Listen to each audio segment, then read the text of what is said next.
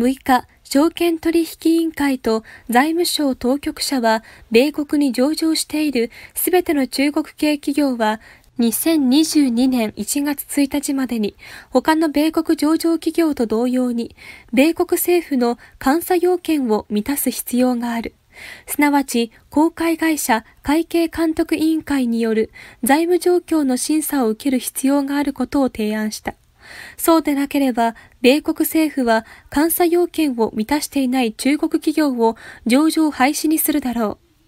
米国財務長官のスティーブン・ムヌチン氏と証券取引委員会の J. クレイトン委員長ら高官は、監査要件を満たしていない米国上場の中国出資の企業に対処する方法を評価し、報告するワーキンググループに参加している。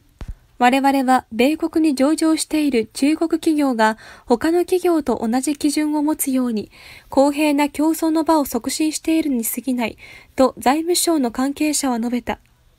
提言では米証券取引委員会がリスクヘッジのための措置を講じることを示唆している。第一に、米国の取引所への上場基準を厳格に強化することで、米国公開会社会計監視委員会が主要な監査会社による上場会社の監査のため作業文書を取引所への最初の継続的な上場条件として取得することを要求する。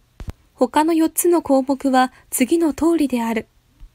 証券発行者に対し中国などの非協力的な管轄区域への投資リスクを強化し、開示に注力するよう要求する。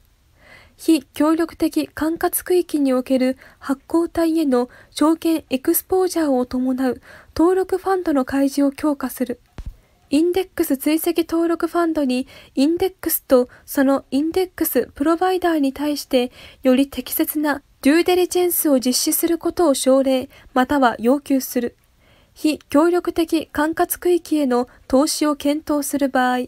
受託者の義務に関するガイドラインが投資顧問に発行される。